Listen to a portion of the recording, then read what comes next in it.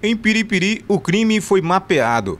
Baseado nos registros de roubos no município, um mapa foi criado pela Polícia Civil a fim de elaboração de estratégias de policiamento pela PM, levando em consideração os pontos com maior incidência. Segundo dados estatísticos da polícia, este local é um dos principais pontos de ocorrências de assaltos. Do dia 15 de novembro ao dia 5 de dezembro, ou seja, um intervalo de 20 dias, foram 28 assaltos na cidade.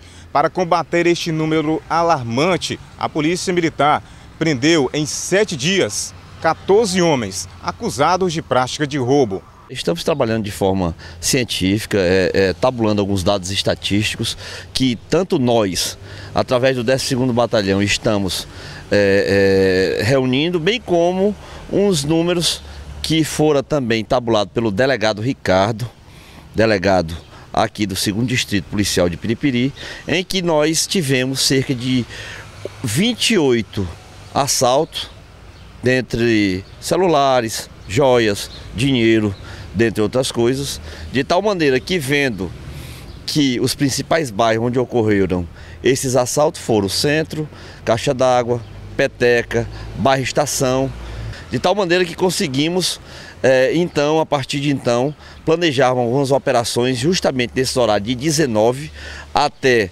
às 23 horas, onde estabelecemos inclusive o motopatrulhamento desses locais, de tal forma que desde o dia 5, desde o dia 5 do 12 não tivemos mais nenhum tipo de arrombamento, nenhum tipo de assalto aqui em nossa cidade. Nos últimos dias, a população tem sentido uma melhora na segurança. O número de assaltos caiu após a prisão de vários suspeitos.